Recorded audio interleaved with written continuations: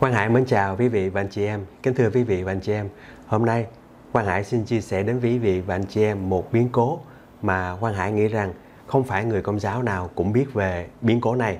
Đó là biến cố Đức Giáo Hoàng ám sát lần thứ hai. Như quý vị cũng biết vào ngày 13 tháng 5 năm 1981 vào ngày lễ Đức Mẹ Fatima, Đức Giáo Hoàng Phaolô đệ nhị đã bị ám sát bởi một người tên là Mohammed Ali Aka, người Thổ Nhĩ Kỳ. À, thì cái người này thuộc à, nhóm người Hồi giáo.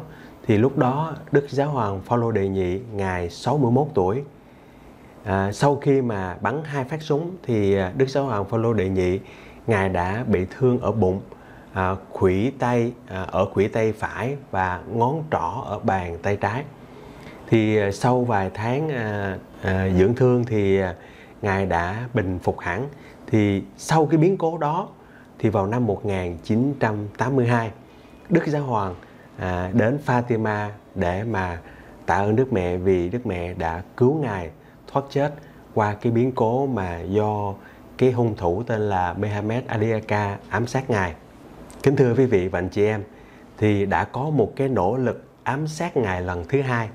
Tuy nhiên, cái vụ ám sát vào năm 1982 sau một năm sau một năm thì ít người biết đến so cái vụ ám sát ở Vatican vào năm 1981. Đây là lý do tại sao rất người ít biết về cái biến cố này. Kính thưa quý vị và anh chị em, cái điều đặc biệt ở cái vụ ám sát lần thứ hai này đó là một vị linh mục. Cái người này tên là Joan Maria Fernando Coron, người linh mục Tây Ban Nha đã cố gắng ám sát à, Thánh Gioan Phaolô đệ nhị tại Fatima vào năm 1982.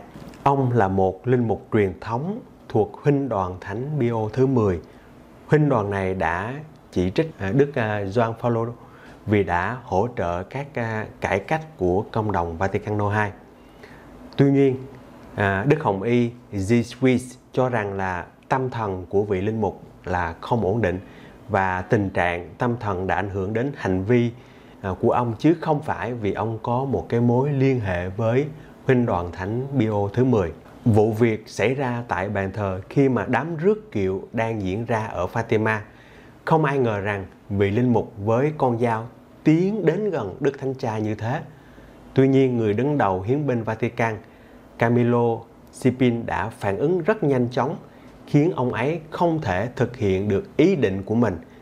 Vị linh mục không thể tiến tới đủ gần để có thể làm gì gây hại cho Đức Thánh Cha và sau đó ông bị xét xử à, và chịu 6 năm tù giam.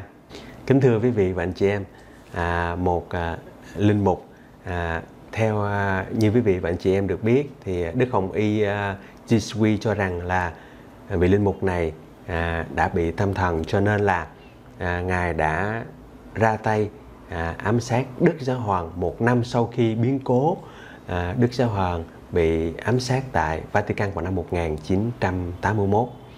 Đây là thực sự là một biến cố mà Quang Hải cũng à, mới biết à, và Quang Hải xin chia sẻ đến quý vị và anh chị em để quý vị và anh chị em à, biết rằng là à, cái người đứng đầu hội thánh của chúng ta luôn luôn ở trong cái tình trạng nguy hiểm.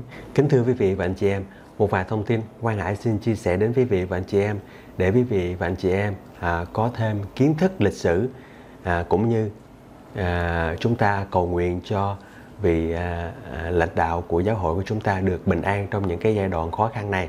Chúng ta hãy cầu nguyện thật nhiều cho Đức Thánh Cha Francisco của chúng ta để Ngài à, lèo lái con thuyền của giáo hội vượt qua những cái giai đoạn khó khăn này. Chào tạm biệt và hẹn gặp lại quý vị và anh chị em.